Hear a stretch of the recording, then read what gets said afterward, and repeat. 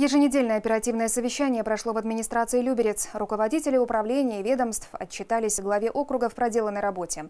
Об итогах минувшей недели узнала и наша съемочная группа. Более 1800 обращений поступило в Люберецкую полицию на минувшей неделе. Стражами порядка возбуждено 35 уголовных дел. На сегодняшний день 5 преступлений пока остаются нераскрытыми. Было совершено 159 ДТП с, тремя пострадавшими.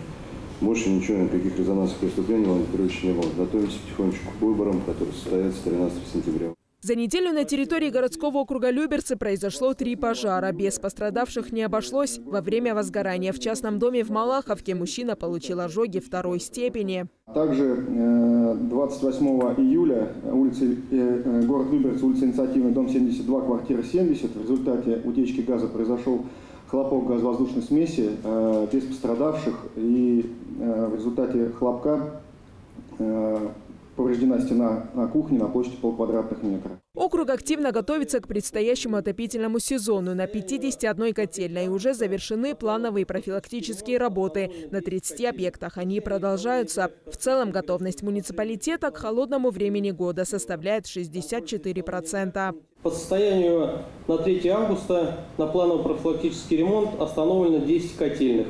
Горячее водоснабжение отключено в 112 многоквартирных домах. Это примерно 20 тысяч, 27 505 жителей. Нарушение исполнения графика отключения горячего водоснабжения при плановых отключениях не зафиксировано.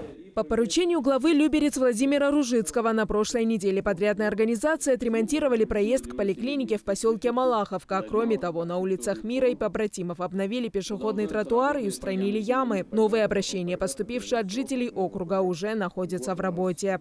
Луиза Игасарян, Петр Пономаренко, Валерий Абсалямов, телеканал ЛРТ.